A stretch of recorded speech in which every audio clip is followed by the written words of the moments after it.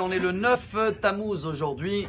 Et comme vous le savez bien, on est toujours un petit décalage dans les parachiotes. En Israël, on est Balak. Dehors d'Israël, on est Hukat. Bientôt, on va se remettre ensemble.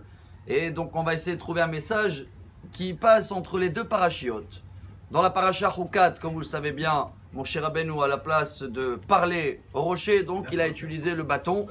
Et dans notre paracha, Balak et Bilam, ils essayent de maudire le peuple d'Israël, mais ils voient qu'ils ont une qualité unique, et c'est ce qui fait beaucoup d'haine, peut-être jusqu'à aujourd'hui, hein, antisémitisme, ils appellent ça. Vayar et Israël, Shochen Nishvatav. Ils ont vu que chacun, il a son chemin. Chacun, il a sa fenêtre. Chacun, il a sa porte. C'est jamais en face de la porte de l'autre. Et cette façon de jamais suivre, je ne vais pas dire la mode ou l'esprit, c'est quelque chose que Dieu il nous demande. Il y a un grand rabbin que tout le monde connaît, le Shla Kadosh, Rabbi Shariahu Horowitz. Il amène une phrase qu'on chante tous les matins, Az Yashir Moshe. Ze Eli ve'anveu, Eloke avi va'aromemenu.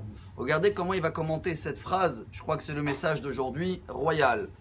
Ze Eli ve'anveu anivau. Quand je connais Dieu, je connais mon devoir, mais c'est moi et lui. J'ai trouvé ce qu'il me demande à moi. J'ai pas copié sur les autres. Alors là, on est ensemble. Ve'anveu anivau. On marche ensemble.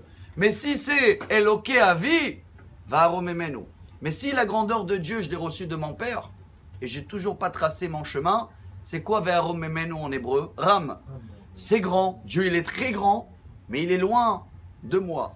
On avait déjà amené un exemple, je crois qu'elle est très belle pour ceux-là qui voyagent bientôt et qui prend l'avion, que un enfant, il a dit, papa, il est où Dieu, il est partout. Tu peux me le montrer, la grandeur Il a dit, voilà, l'avion. Vous vous rappelez? Mais le fils, il dit, ouais, papa, c'est petit l'avion. Il a dit, bon, viens, je te prends à l'aéroport, Char- Charles de Gaulle. Non, Ben Gurion, il est plus beau. Viens. Ben Gurion, il l'a amené devant l'avion, et il a vu l'avion de près, il a dit à son père, c'est vrai que c'est grand. Alors, cette métaphore se termine que quand on est loin, hein, quand c'est papa qui nous montre, regarde, Dieu est grand, mais t'as pas vu de toi-même, tu t'es pas rapproché, ça reste un peu petit. Quand tu te rapproches, ça devient grand. Mais vous vous rappelez qu'on a terminé cette métaphore, hein c'est beau l'avion, mais dès que tu te retournes, l'aéroport aussi est grand, et les bâtiments, ils sont très grands, et toute la mode, et tout est grand. Alors qu'est-ce qu'il faut faire? Voilà le message d'aujourd'hui, prendre l'avion. Dès que tu prends l'avion et tu commences à monter, tu es avec Dieu, hop, les maisons deviennent petites, les bâtiments, tout devient petit, même les voitures deviennent comme des fourmis. Mais pour cela, Rabotai, venez, on va essayer de faire ce message de la paracha.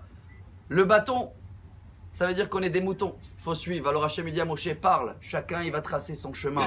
Et nous, dans la paracha de cette semaine, on apprend que si Korah, et si Balak et Bilam, ils ont trouvé ça comme une qualité, venez, on l'a fait, ce qui veut dire qu'autant que d'être parents, on veut tout pour les enfants à nous. Hein. Mais est-ce qu'on veut vraiment qu'ils vont choisir eux ce qui est bien pour eux ou on veut imposer nous et choisir pour eux? Des fois, ça, ça peut amener des séquelles plus tard? Parce que si on est tous pareils, alors nous tous, on sert à quoi? Alors chacun de nous qui continue à faire son identité unique, notre ADN qui est toujours différent, et si on arrive à trouver cette qualité dans le chemin avec Dieu, eh ben on est ensemble, Venveu, Anivaou.